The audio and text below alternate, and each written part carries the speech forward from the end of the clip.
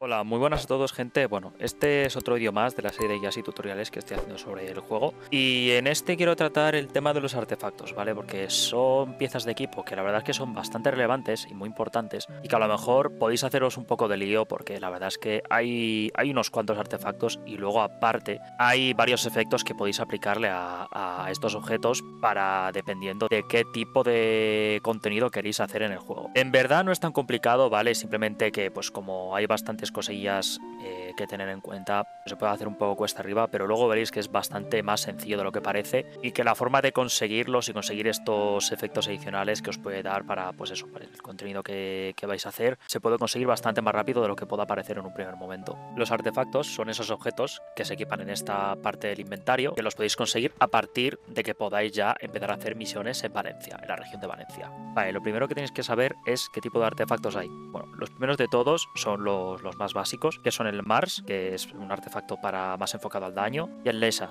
un artefacto más defensivo. Estos artefactos son como los, los más sencillos de conseguir, eh, los dan en un montón de, zonas del juego y haciendo un montón de contenido. Hay bastantes tipos de ellos, o subtipos, por decirlo así, y cada uno tiene pues una estadística base que dependiendo de lo que queréis hacer, o a la zona a la que queréis ir, o las carencias que tenga vuestro personaje en ese momento, os van a dar o os van a venir bien para unas estadísticas o para otras. Vale, para conseguir los artefactos de Mars como los Lesa, simplemente tenéis que hacer diferentes contenidos del juego. Son los más sencillos de conseguir, simplemente con veniros a guaridas enemigas y escribir artefacto arriba en el buscador os va a llevar a los diferentes tipos de artefactos que podéis conseguir grindeando en el juego. Los Lesa y los Mars se consiguen en bastantes zonas, son los que más caen con más facilidad. También los podéis conseguir en diferentes contenidos, como en bosses de mundo o en las fisuras oscuras de los bosses. También podéis conseguirlos en el santuario oscuro, ¿vale? En los santuarios oscuros también los suelen dar, en las recompensas, etcétera, etcétera. Ambos. Son, pues eso, los más sencillitos de conseguir, son los que más vais a acabar teniendo eh, en prácticamente todas las zonas de grindeo de early game o mid game salen, incluso en zonas de endgame también caen bastante y son bastante, bastante útiles, sobre todo para ese primer artefacto que os, que os podáis equipar para tener ya unas estadísticas iniciales y poder a lo mejor ir a algunas zonas de farmeo un poquito mejores a las que podréis ir con vuestro equipo. Luego los artefactos de Kele, estos son algo más complicados de conseguir. No es difícil que caigan en sí, pero sí que son en zonas a lo mejor de un poquito más daño, ¿vale? Salvo en alguna otra que bueno, pues pide bastante poco. Pero el drop rate que tienen sí que es bastante menor, sobre todo por el tema de que solo se pueden conseguir en zonas de farmeo. No estoy seguro si los de Santuario Oscuro pueden dar alguno, creo que no, ¿vale? Creería que no. Igualmente, como son artefactos que sirven para tener o más aguante o más vida o algo más de furia oscura, pues son un poco más prescindibles a opinión personal. Sí que creo que son más útiles los de Lisa o los de Mars, por el tema de que dan o daño o defensa concreta. Estos, pues bueno, eh, para zonas de farmeo a lo mejor no son tan útiles. Yo creo que nadie se equipa estos los artefactos para zonas de grindeo, a no ser que vayan muy pelados de vida. Pero saber dónde conseguirlos también está bien, porque en algún momento, sobre todo en tema PvP, si no disponéis de los últimos artefactos, pues a lo mejor os pueden venir bien. Luego está el Setra. El Setra es un artefacto que sí que es un poco más rebuscado de conseguir, ¿vale? Al final son artefactos que sirven para profesiones. Y ya, pues esto se complica un poco porque son muy concretos. Luego cada, cada artefacto de esto tiene un subtipo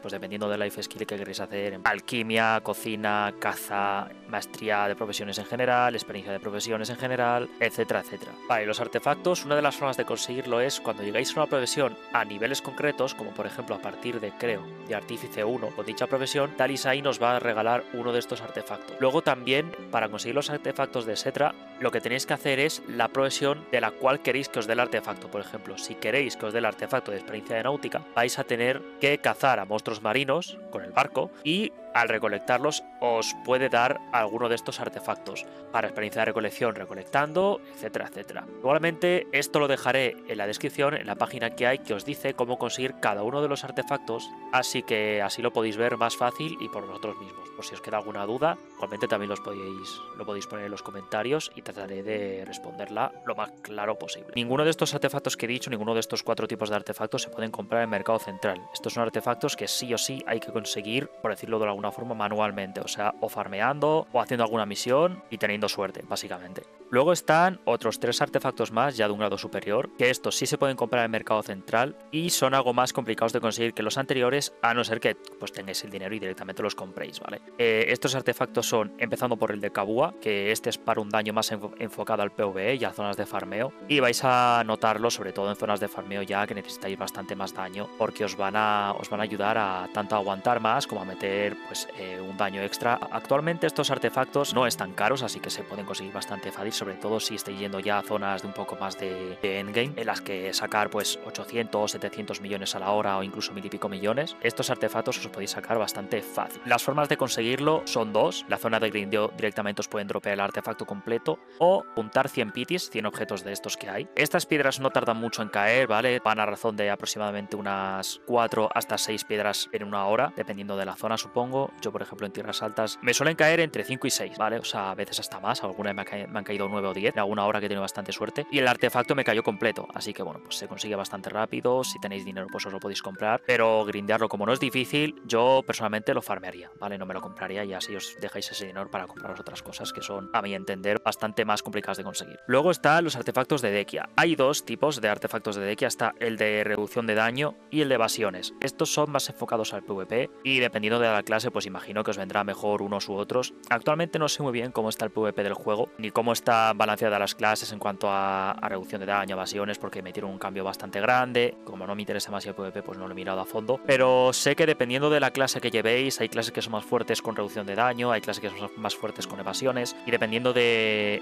una u otra, pues ya os viene mejor tener dos artefactos o de reducción de daño o de evasión. No sé si es viable mezclarlos, ¿vale? No sé si eh, se puede llevar uno de reducción y otro de evasión. Eh, yo diría que no, creo que es mejor llevar los dos artefactos del mismo tipo, pero aquí ya pues os dejo en los comentarios que digáis si para PvP cuál de los dos artefactos conviene más o, o siquiera si, si es viable mezclaros entre ellos. Estos se consiguen en zonas de grindeo donde esté habilitado el farol de Dekia 2, el segundo nivel del farol de Dekia. Eh, esto ya es bastante más de endgame de 340 de AP y 430 de defensa, con un daño mínimo bastante elevado. Entonces, yo estos artefactos, como además son más concretos para PvP, de momento si sois nuevos, olvidaos de ellos, porque son bastante caros, son 9.300 millones cada uno. Actualmente no hay ningún artefacto en el mercado central, supongo que según vaya pasando el tiempo irán cayendo más, la gente los irá vendiendo, pero por el momento en el mercado central es muy difícil de conseguir, eh, farmearlos es bastante complicado por el cap de la zona y porque es, eso es una zona de farol de deca que actualmente pues están llenas de gente, así que si sois nuevos obviamente de estos artefactos olvidaros, pero bueno, que sepáis que se farmean en esta zona, no son excesivamente útiles porque lo que más prima en PvP es daño para matar antes a los bichos, esto dejarlos pues si en algún momento os apetece, os interesa el contenido PvP de nodes, pues ya iros farmeando poco a poco luego cuando tenéis mejor equipo los artefactos estos. Vale, como habéis visto, en los artefactos hay dos huecos en cada uno. Estos objetos que se ponen dentro de esos huecos son las piedras de luz. Las piedras de luz son unos ítems que se pueden conseguir de varias formas, ¿vale? Tanto farmeando como en misiones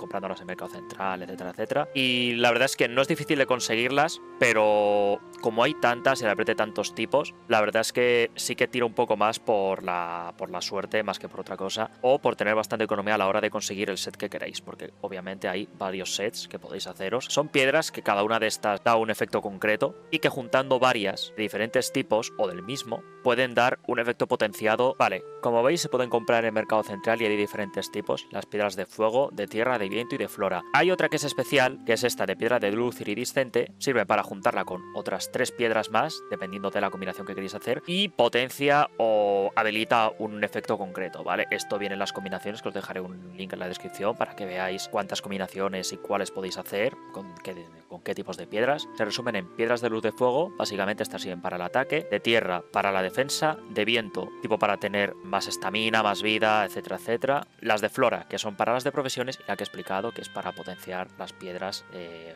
combinaciones con piedras de luz. Dentro de estas piedras, en cada tipo está la imperfecta y luego está la de fuego purificada. Con la imperfecta, lo que podéis hacer es ir a un NPC o si tenéis alquimia en un nivel de gurú uno superior. El NPC al que podéis ir para revelar las piedras se llama Sign, ¿vale? Está en todas las ciudades principales del juego. Tenéis que ir a hablar con ella y con una de estas piedras y unos lingotes de oro os va a dar una piedra de estas. Esta piedra básicamente es una piedra de luz que está sellada, luego la podéis abrir y os da una de las demás piedras aleatoriamente, ¿vale? Puede tocaros tanto una de dos mil y pico millones como una de 5 millones. O sea, aquí es donde reside el RNG. Si no, pues como veis podéis también comprarlas en Mercado Central, o sea, las podéis comprar aquí, las que queráis, pero bueno, eh, si tenéis suerte os podéis ahorrar un dinero bastante potente. Las piedras de luz iridiscente básicamente suelen caer en algunas zonas de grindeo más concretas, o sea, son un poquillo más complicadas de conseguir. Son algo carillas, no mucho, pero son algo carillas y son muy importantes. Ya os digo, si os cae alguna de estas piedras, no las vendáis porque os van a ser bastante útiles. Luego están las piedras de luz purificada. Estas que veis aquí es que viniendo a este NPC, dándole a piedra de luz, podéis meter todas las piedras para que os acabe dando